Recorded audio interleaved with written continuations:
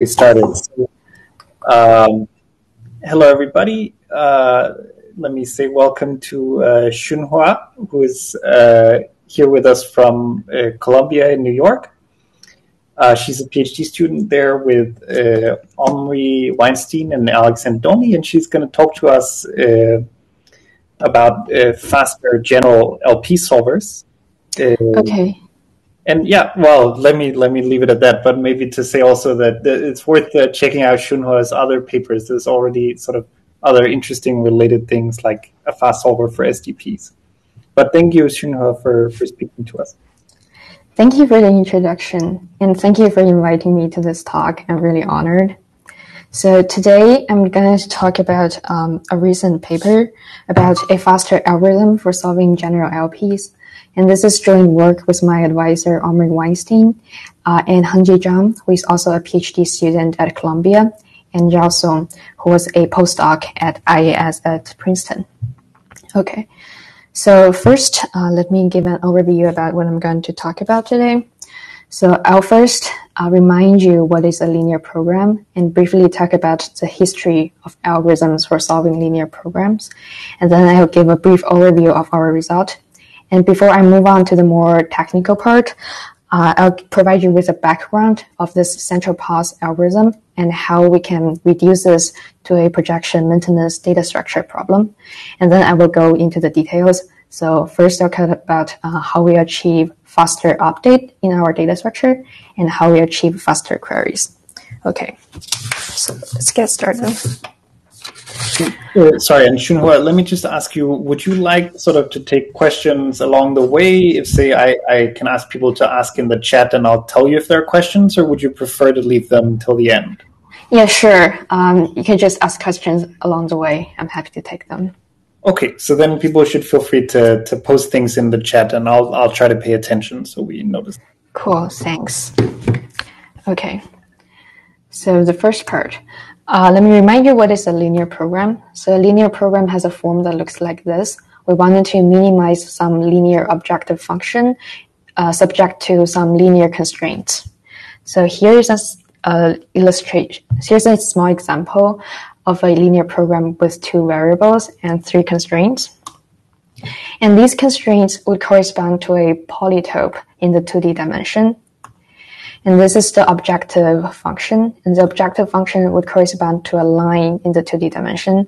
And solving linear programs, basically we wanted to find uh, the intersection of this line with the polytope. So we wanted to find this corner here. Okay. Uh, and in this paper, we consider um, the general dense LP. So we consider the case where our matrix A have size d times n, and it is a dense matrix. And also this d is the number of constraints and n is the number of variables. We consider the case where d has the same order of n. And we consider this formulation of our LP. So just one thing to notice that here we assume that uh, all the constraints are equalities. And actually for LP, it doesn't matter if it's equality or inequality, they are all equivalent. And this is the dual formulation of this primal problem. Uh, and in our algorithms, we will use the slack variables for the dual. So if you add some S variable here, so these uh, LPs are also equivalent. Okay. So now let me first talk about a brief history about uh, program about algorithms for solving linear programs. So the problem of solving a linear system of uh, inequalities dates back to the 19th century. And the first algorithm for solving LPs was the simplex algorithm. It was developed by Dantzig in 1947. Uh, the simplex algorithms are very efficient in practice, and it's still used in the state-of-the-art LP solvers even today. However, it could have exponential time in the worst case in theory. So there exists an explicit construction of an example that would take exponential time, and that's called the Klee-Minty cube. So people began to wonder, so can we have an algorithm for LP that we can prove that it has polynomial time in the worst case? And the first such algorithm was the ellipsoid algorithm. Um, it was first developed by Khachiyan in 1977.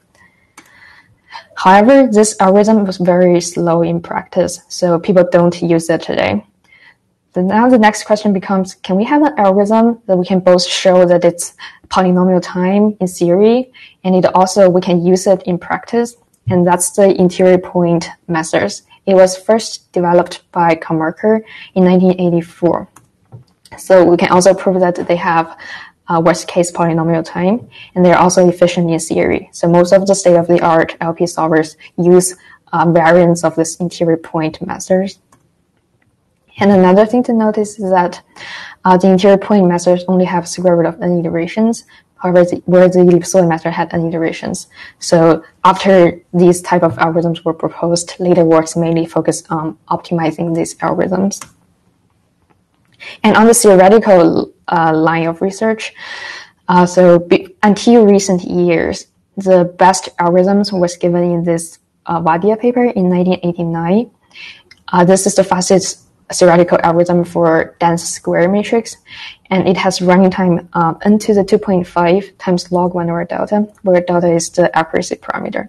So that's the history until recent years. And recently, uh, in 2019, there was another paper that broke this into the 2.5 barrier. This paper was by Cohen, Lee, and Song. So let me first explain what are these exponents here. So the omega here is the exponent of matrix multiplication. So it is defined as the minimum exponent to multiply to n by n matrix. Notice that naively, if we wanted to multiply to n by n matrix, it would take n cubed time. But there exist more complicated algorithms that only take n to the 2.37 time. And the alpha here is called the dual exponent of matrix multiplication. So the alpha is defined uh, as the maximum exponent such that multiplying an n by n matrix with an n by n to the alpha matrix can be done in n squared time. So notice that uh, even multiplying a matrix with a vector would take n squared time. So this alpha is non-trivial. So currently the best number of alpha is 0.31. And this type of multiplication is called fast rectangular matrix multiplication. Okay. Uh, and I also wanted to mention that after this initial work, there were three follow-ups that achieved the same running time, but they used different uh, fast query techniques. Okay. Um, so one thing to notice about um, these uh, this this running time is that it matches the current omega for the current values. So if you plug in this omega and this alpha equals 0.31 into these exponents, you will see that this exponent 2.5 minus alpha over 2 is smaller than omega. So uh, the running time can be simplified as just n to the omega for the current uh, value of omega. And this is quite remarkable because this is an algorithm for general dense uh, LP. And even if you just wanted to find one feasible point, so even if you just wanted to solve a linear system of AX equals to B, it would take like the best algorithm we know right now is just to solve it, like just take the inverse of A. So we still take n to the omega time. So basically this means this is a strict lower bound for the algorithm. So this means for the current omega, uh, the algorithms for solving linear programs matches the algorithm for solving linear systems. But however, like 2.37 is not a very natural number. So in the community, it is believed that we should be able to achieve at some point that omega equals to 2 and alpha equals to 1, which would mean that uh, you could do matrix multiplication in the time that is their input size. So in this ideal case, where omega would equals to 2 and alpha would equals to 1, solving linear system would only take uh, n squared time. But however, solving linear programs you take n to the 2 plus, uh, 1 over 6 time. So the question would be, um, so can we show that solving general linear programs is as easy as solving linear systems? So would, in the algorithmic uh, point of view, can we show that there exist algorithms that have the same running time for LPs as for linear systems? So that is the main motivation of our project. So we moved one step forward towards showing this equivalence. So in our paper, we showed an algorithm that have um, n to the 2 plus 1 over 18 running time instead of uh, 2 plus 1 over 6. So uh, we can view our result in two, two views. So the first is that this is an algorithm for the future. So in the future, if uh, the algorithms for fast matrix multiplication are improved, then our algorithm is a faster algorithm for solving linear programs. And the other point is that um, this is an interest. This conveys an interesting message. So it basically means that probably from a like in an algorithmic point of view, solving linear programs is just as easy as solving linear systems. Okay, uh, and here I'm going to show you a picture about uh, all this history that I've talked about. Um, this blue line shows um, all the the history of the algorithms for fast matrix multiplication, and they are the same running time as uh, algorithms for solving general linear systems.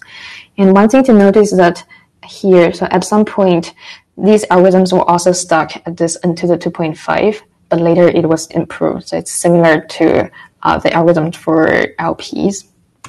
And this red line, I'm going to show uh, the history of algorithms for linear programs. So we started with the simplex algorithm, which has exponential time.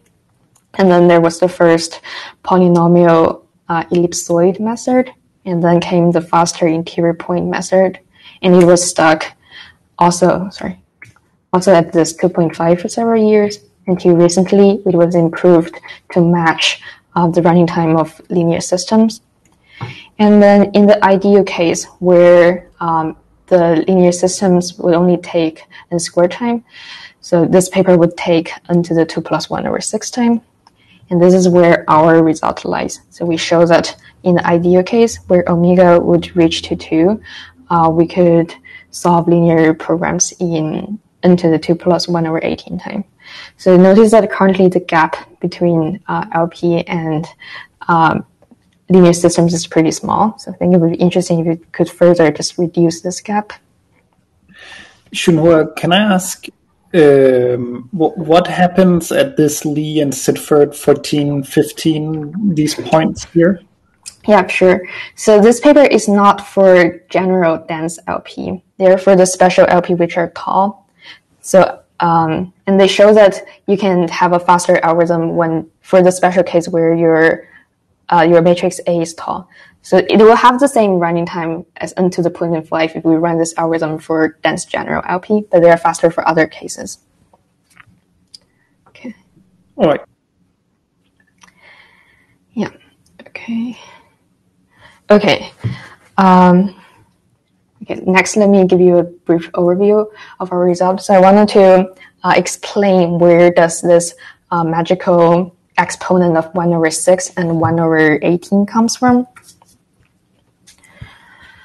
Okay, so uh, first thing I wanted to mention is that our algorithm has square root of n iterations. So this is um, consistent with almost all previous interior point methods. So almost all interior point methods for LP will have square root of n iterations. And this is also same as the previous Cohen-Lee Song paper. So we don't actually improve the number of iterations, but we improve the, num- the, the, the cost per iteration. Okay. Uh, let me first explain what are the cost per iteration of this previous paper. So in the previous paper, um, they have this threshold parameter A. So you can think about A as uh, after accumulating A uh, number of updates, I would perform one update. And their update time is this, n to the omega minus half plus n to the 2 minus a over 2. And their query time is n to the 1 plus a. So they achieve their um, their final this 1 over 6 exponent by balancing these two terms. So by balancing these two terms, if we let this exponent to equal to each other, you see that uh, the optimal choice is to set a to be two thirds and this will give uh, n to the 2 minus 1 over 3 cost per iteration. And then if we multiply this with the square root of n number of iterations, this will give you uh, n to the 2 plus 1 over 6 total running time. and in our running time. So we also have this first threshold parameter, but we also introduce a second uh, threshold parameter. The second threshold parameter needs to be smaller than alpha times A, where alpha is the dual exponent um, of matrix multiplication. And we will have two level of update. So our first level of update will have the same running time as the previous paper. And our second level of update have this n to the 1 plus a minus a to the over 2. So notice that this is even faster than the query. And we also have a faster query. Okay. And now we will need to balance these three terms. And because we have two uh, parameters here, we will have more balancing power. So you can see that the optimal choice is to set A to be uh, A nice and set A to to be two third. And this will give you n to the 2 to minus 4 over 9 cost per iteration. And then further multiply this with the square root of n number of iterations, we get our uh, n to the 2 plus 1 over 18 final running time. Okay. Uh, let next let me give you a high level uh, idea about uh, what are our techniques. So as I already mentioned in the last slide, so in our update, we will use a two level update. So the previous paper used this one level lazy update framework where they have this threshold. Uh, and you can think about the intuition behind this lazy update as uh, the vectors are changing slowly, so it makes sense to update them lazily. And we use this intuition that, okay, so not only the vectors themselves are changing slowly, but the changes of their changes are kind of also changing slowly. So we could have another level of lazy update. And we also achieve faster queries. So in the previous paper, they have some compression techniques on one side, and we generalize this to have uh, compressions on both the left side and on the right side. Okay, that's a high level idea. So, okay, next, um, before I go into more details about these techniques, uh, let me first provide you a brief background about um, the central path algorithm, which is a type of interior point method that we use, and how we can reduce this to a data structure maintenance problem. Okay, uh, so first, um, recall that this is the formulation of our primal algorithms, uh, sorry, primal LP, and this is the formulation of our dual LP. And if we use the KKT conditions, we can show that uh, the optimal solutions of these LPs must satisfy these constraints. So first, X and S must be non-negative. And then we have this constraint. This corresponds to primal feasibility.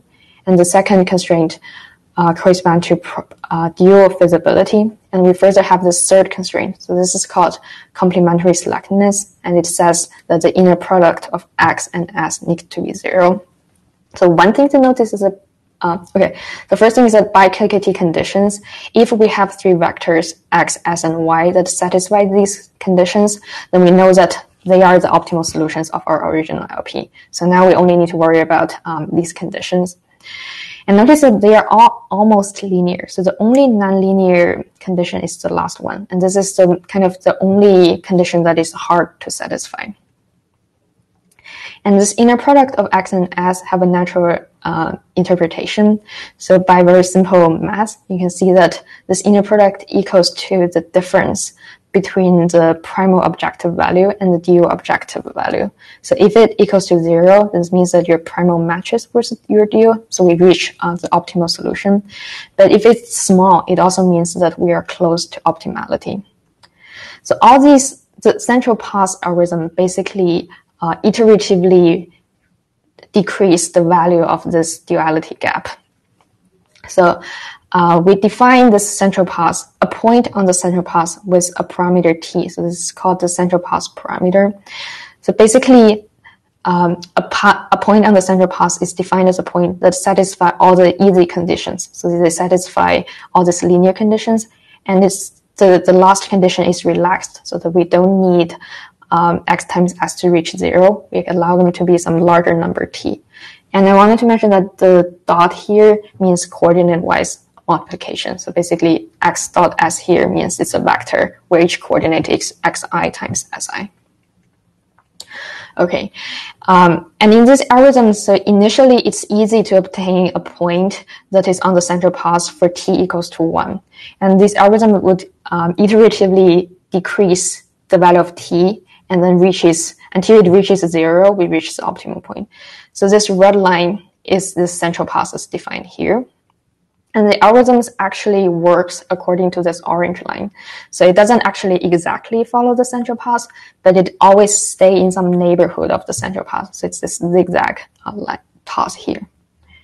Okay.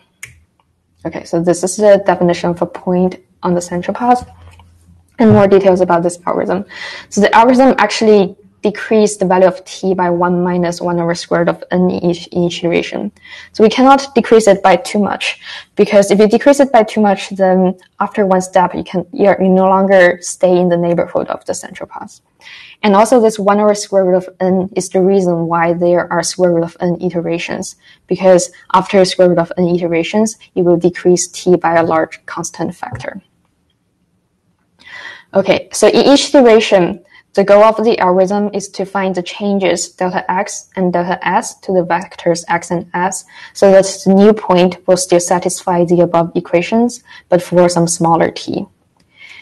And we see that we need to require delta x and delta s to satisfy these three equations. So the first equation corresponds to this primal feasibility condition. So it basically says that after adding delta x, this still need to be satisfied.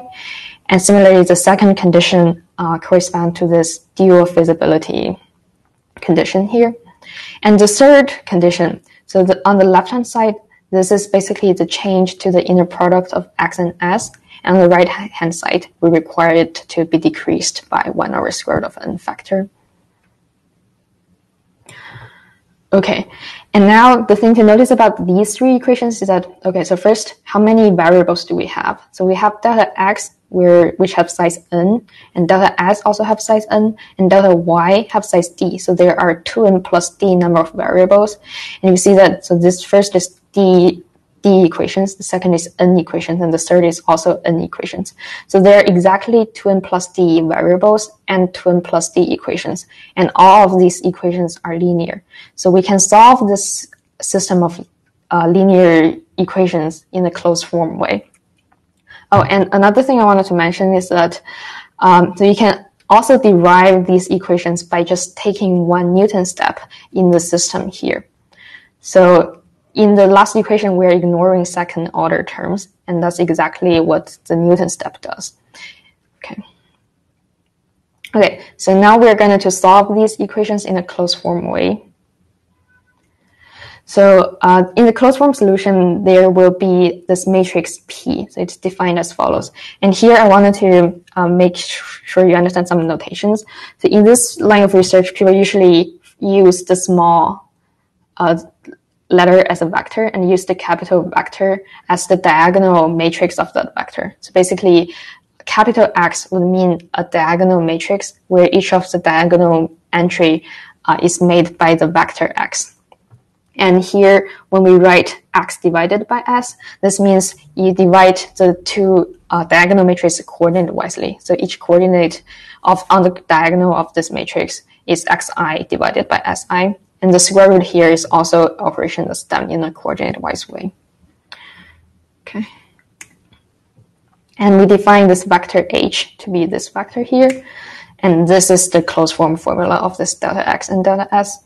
So basically, delta x is the identity matrix minus this matrix P times H, and delta S is this P times H. Okay, so this is a summary of what I've talked about. Um, this is a summary of the central path algorithm. So there are square root of n iterations. In each iteration, we decrease t by 1 over square root of n.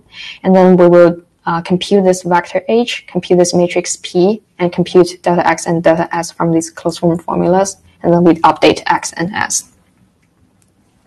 Okay, so note that the naive implementation of this algorithm would take n to the omega plus uh, half time. This is because there are of n iterations, and it's n to the omega time per iteration. And the main bottleneck of this algorithm is on line 5 because when we are going to compute this matrix P, there is an inverse here. Sorry. And then computing the, the inverse would take into the omega time. But another thing to notice that there is also a second barrier here. So the second barrier is on line six. So we wanted to compute this matrix vector multiplication. Naively, it would take n squared time. Um, and I wanted to mention that as early as the Vaidya papers that I mentioned in 1989, they already broke the first barrier. So they already have total running time of to the 2.5, and that's n squared running time per iteration. But the second barrier, this n squared barrier, was only broke, uh, surpassed until the recent Cohen-Lee Song paper. Okay, so now it's easy to see that in order to efficiently implement this central path algorithm, it basically boils down to efficiently maintain this projection matrix P and support queries of matrix vector multiplications. Okay, so let me talk to you about uh, more details about this projection matrix P. So the, here is an illustration of how this P looks like. And from now on, I will use this letter W to denote um, the, the division of X over S. Um, and we can, from now on, you can think about uh, your algorithm as in each iteration, we're just given some vector W that is given by the central path. And we only need to worry about how to maintain this projection matrix. Okay. And P is called a projection matrix, which by definition means that P times P equals to itself. And you can just plug in this formula and see that the inverse will, uh, will cancel out.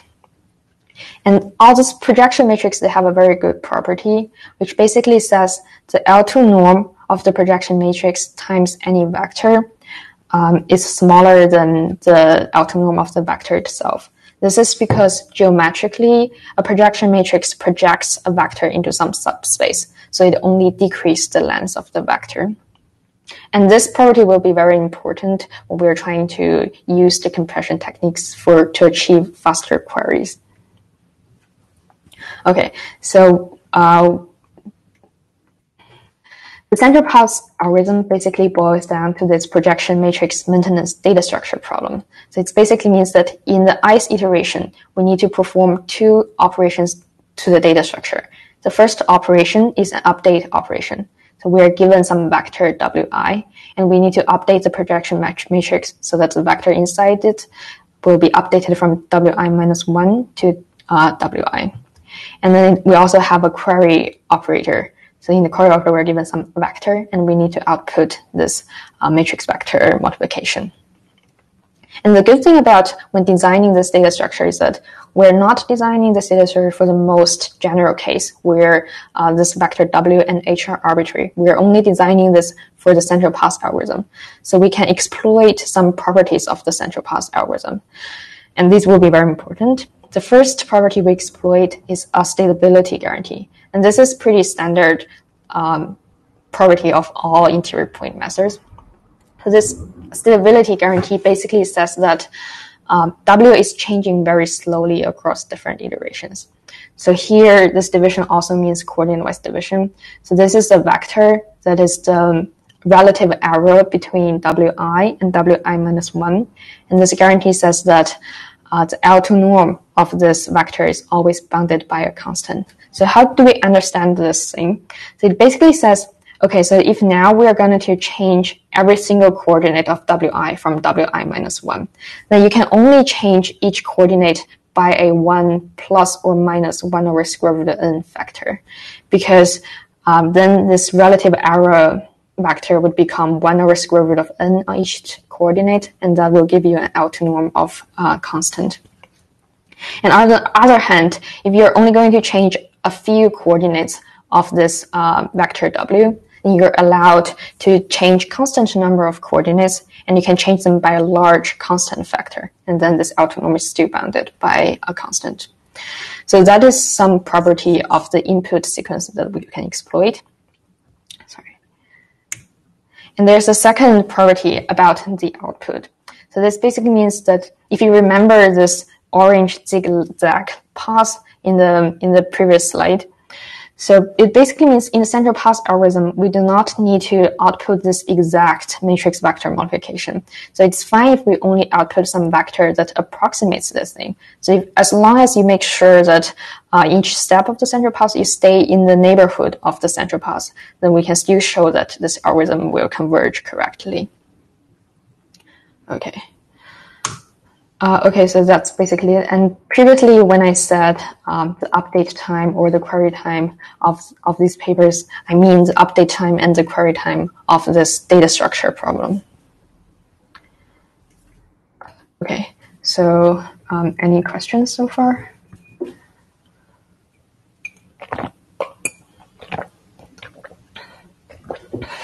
Okay, so next, uh, let me move into the more technical part. So I will first talk about how we get this uh, two-level lazy update. But before that, let me first tell you about this one-level lazy update of the previous paper.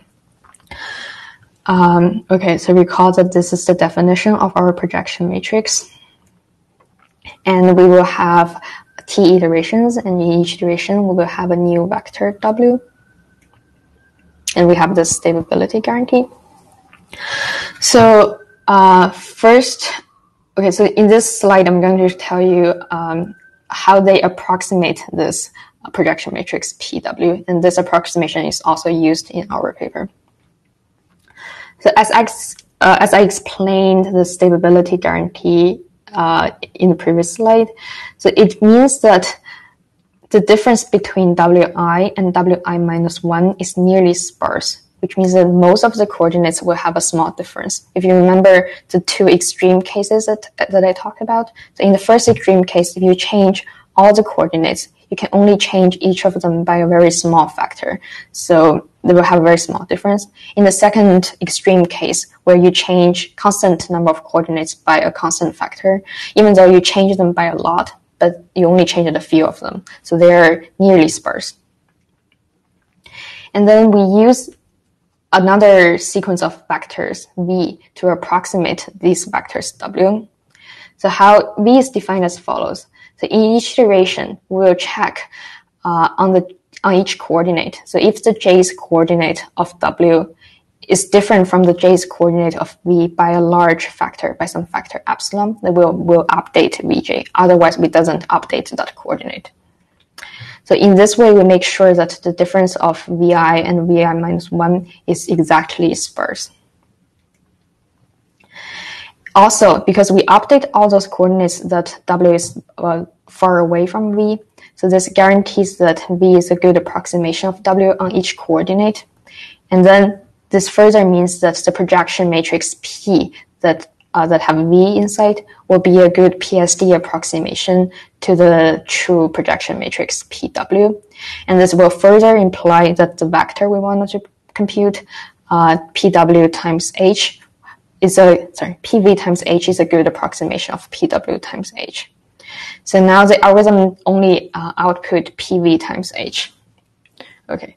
Uh, and I also wanted to mention that uh, so it's easy to compute these vectors v because a vector only have size n. So we will compute these vectors v in each iteration, but it will be hard to to update this projection matrix in each iteration. So we actually do not um, update the projection matrix in iteration, but we do it in a lazy way. Okay, so that is the one level lazy update of the Cohen-Lee-Song paper.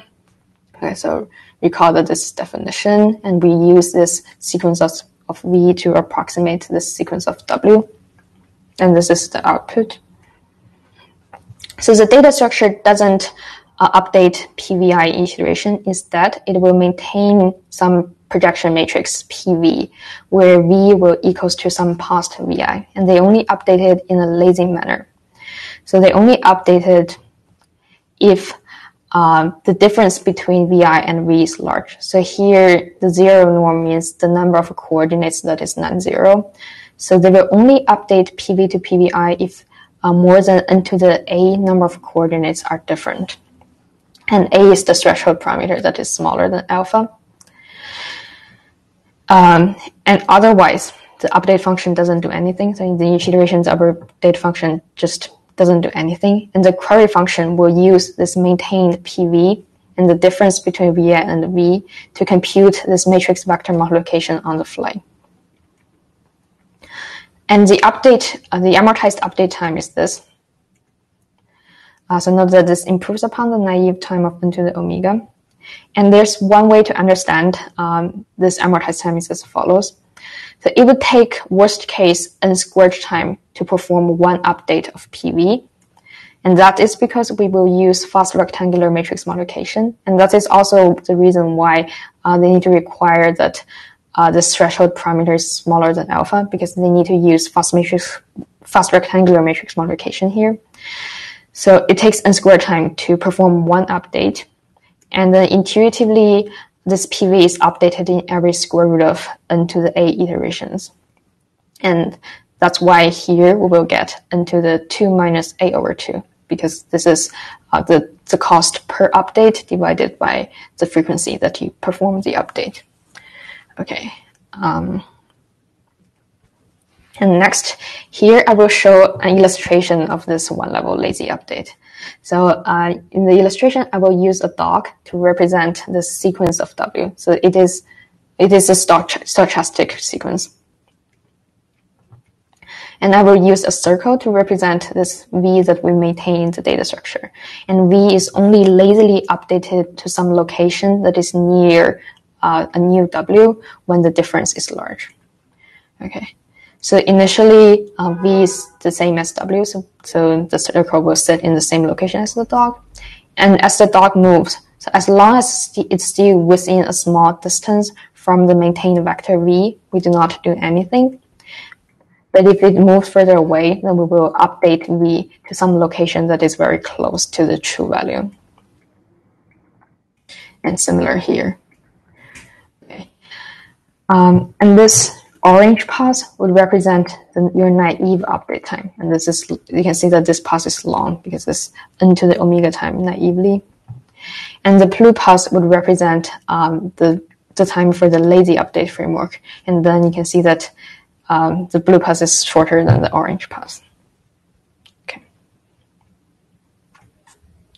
Okay, so next, let me talk about um, our two-level lazy update. So similar to the previous paper, we will also use the sequence of V uh, that approximates the sequence of W. And our output will also be uh, PV times HI instead of PW times HI. And we will also maintain uh, this vector V, and we'll call this a first level member. And we maintain this uh, projection matrix PV, and V is lazily updated. But we will also introduce a second level uh, vector, which we will call V tilde. And V tilde will also equal to some past VI prime, but it, it will equal to some VI prime that is more recent than V. So the second level update will be performed more frequently than the first level update. And the data structure will further maintain a second level member, uh, which we call BV tilde, and it has a smaller size that has size uh, into the A times into the A. And I will get, talk more about the definition of this BV tilde in the next slide.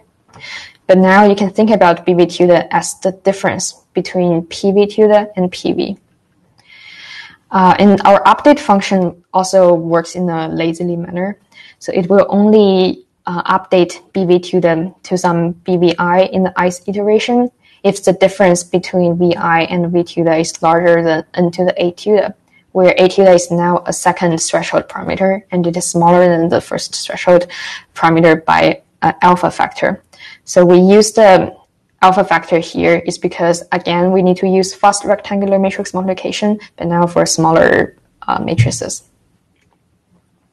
And otherwise, our matrix, our update function doesn't do anything. And when we query, the query function will use the first member PV and BV tilde, because you can think about BV tilde as PV tilde minus PV, and then the difference between VI and V tilde to compute uh, this solution on the fly.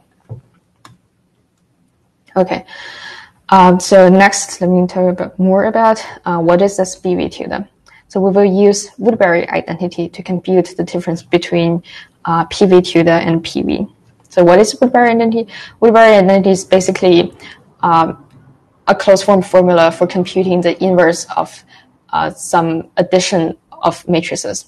Okay, so if you use Woodbury identity, so this is the definition of PV tilde, and this is PV. And their difference can be written in this in a such uh, decomposition of three matrices. So basically here we will have a tall matrix and in the middle we will have a small matrix and the right will, will have another um, long matrix. And our BV tilde is defined exactly as this small inverse matrix in, matrix in the middle. And then we can use BV tilde to compute this difference between PV tilde and PV. Okay, so next let me tell you about uh, what are the worst case running times of our second level lazy update.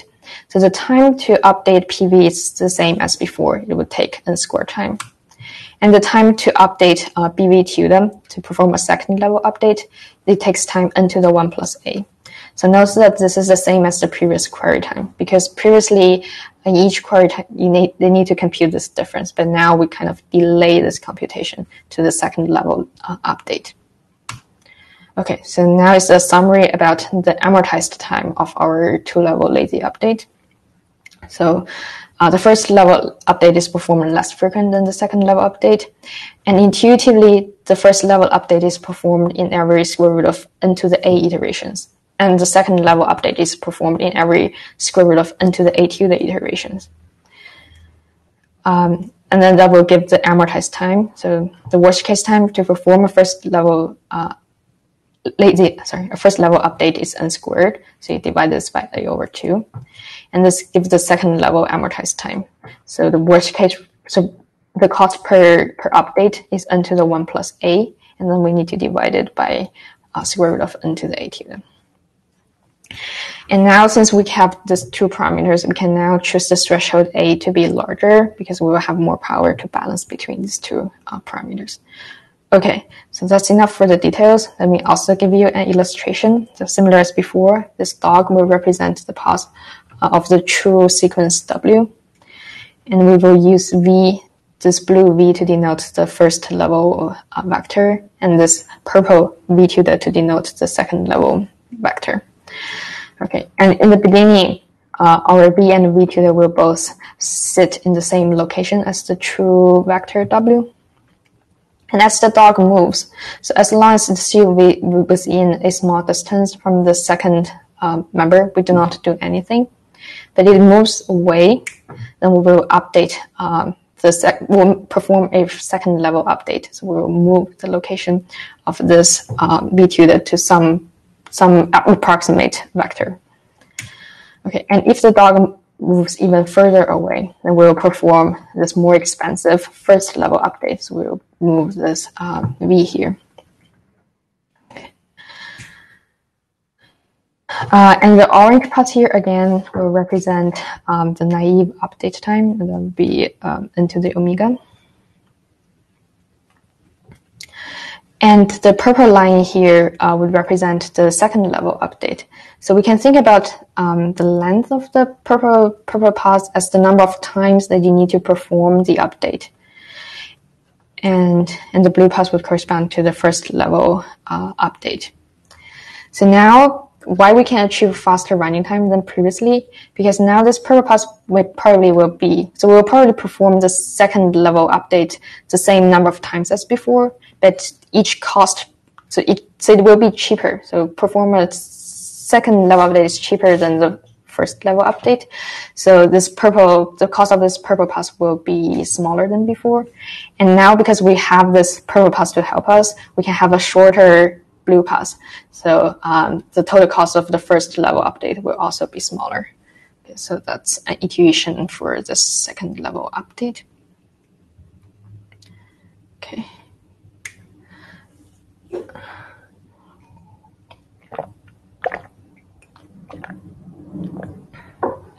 Okay. Um, next, I'm going to talk about um, how we achieve faster queries. Uh, before that, let me first provide an overview about some compression techniques in the previous several previous papers. Uh, first, recall that our query will update um, this, sorry, our query will output this matrix vector multiplication where this V is the approximate, approximate vector to the true vector W. And note that if we compute this naively, it would take n squared time to do a matrix vector multiplication. So previous papers use this uh, compression techniques. So intuitively, they will compress this matrix P from size n by n to size b by n, so that you multiply it with a vector would now only take n times b time. And we, you can think about um, b to be square root of n uh, in this talk. Okay, so first there are some randomized compression techniques. Um, the first randomized compression technique is called sketching, where we will use a sketching matrix R of size b times n. And uh, the most common sketching matrix is just a random Gaussian matrix, so where each coordinate of the matrix R is sampled from some random Gaussian distribution. And another uh, randomized compression technique is called sampling. So basically, we will sample b number of rows from the total of n number of rows. So we will use this diagonal sampling matrix D. So this diagonal matrix will have size n times n, but it only has b non-zero entries. Uh, and one thing I wanted to mention about this com uh, randomized compression techniques is that their error usually have a form that looks like this. So right now I'm only showing this error for, for sketching, but it's almost the same for sampling. So if we add sketching in middle of, um, in between of this matrix and this vector H, then the total error will have two terms. The first term is the L2 norm on the left. It's the L2 norm of this vector. And the second term is the L2 norm on the right. So that is the that is the place where we need to use the good property of projection matrix because projection matrix times the vector will only have a smaller L2 norm. So that means um, on the right or on the left of the projection matrix is the correct position to put these randomized compression techniques. If you put it in other places, um, these L2 norms might blow up. Okay. And there is also uh, another deterministic compression technique. And this is called vector maintenance. So this technique basically maintains some vector G that approximates um, this true vector H. So it's kind of similar as the previous lazy update techniques where we use this vector V to approximate the vector W. Now we use another vector to approximate um, this query vector. Okay, and here's the summary of all these compression techniques.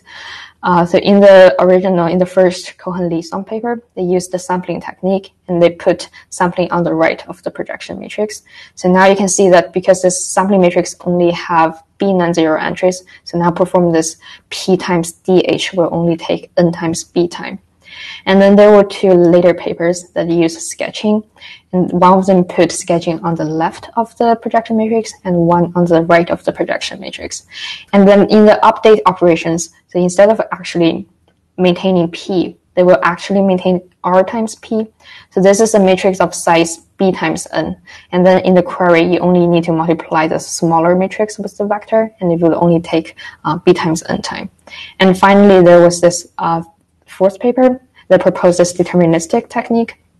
So they use this vector maintenance um, so that in each iteration they only need to compute, they can maintain p times g, and they only need to compute p times some sparse uh, uh, vector of the changes, sorry, of the difference between g and h. Okay.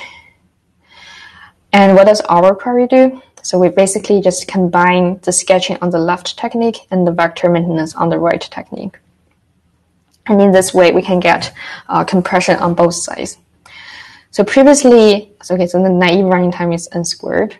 In previous paper, they only have compression on one side, and that will give them uh, m to the 1 plus a query time. So basically, you are compressing one, one in the exponent. And now because we have compression on both sides, so we, are we can further compress this other one on the exponent. So we will achieve uh, n to the a plus a to the running time. And uh, that's how we get our final um, data structure.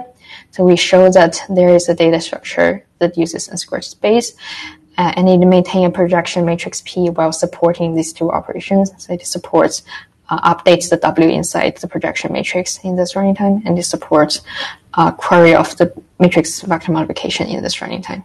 And we add these two running times together. This is the cost per iteration of our uh, final central path algorithm. Okay, uh, so some final remarks. Uh, the first is that after our paper, there was a recent follow up uh, in, in SOSA this year, and it shows a simplified unifying framework to make, dynamically maintain matrix errors for these iterative algorithms, and it simplifies our paper. And some possible future questions. The first is, of course, uh, can we show how to solve LP in n squared time when omega equals to 2? And the second would be, uh, can we use these type of lazy up techniques and these type of uh, dynamic data structures for optimization techniques to other optimization problems? Okay, that's it. Thank you. Thank you, Shunhua. So everybody, let's thank the, the speaker and then have questions if there are any.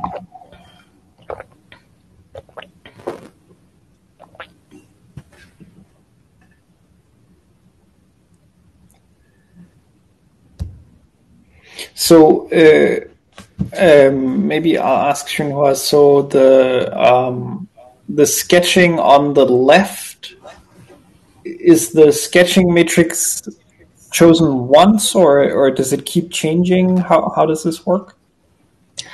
Oh, um, so we actually need to use a larger. So you need to use a sketching matrix in each iteration. And because there are square root of n iterations, so actually in the beginning you will have uh, you will stack all these sketching matrices. So you have an n by n matrix, and you will perform uh, in the beginning. And then in each query, you will only take one of them out to compute your query. Okay. Okay. Uh, thank you. Yes. Um, there's a question in, in the chat from Yiting Hua. Do we have a lower bound for solving LPs? Is the lower bound n squared? Yeah, n squared is a natural lower bound because it's the same as the input size. So we consider general dense LP. So the input size of A is already n squared. But I guess just to clarify, there's nothing that stops us from no known lower bound that stops us from having uh, like number of non-zeros as the running time in general. Yeah, yeah, yeah, yeah, yeah. Um,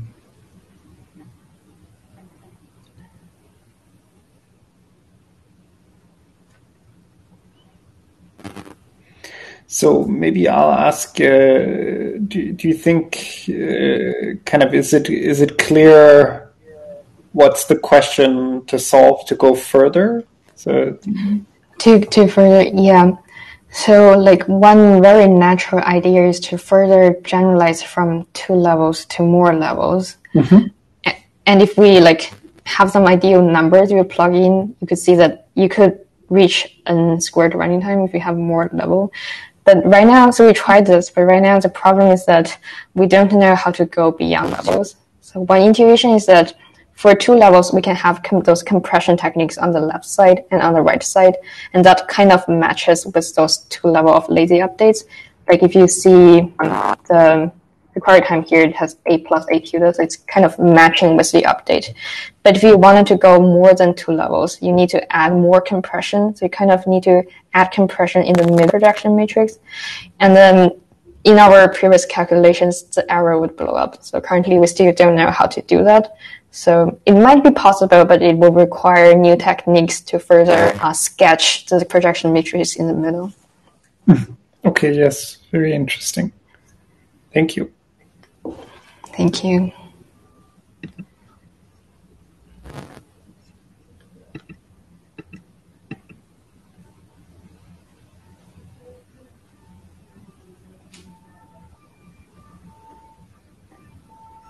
All right, if that's uh, all the questions we have, then uh, let's thank the speaker again.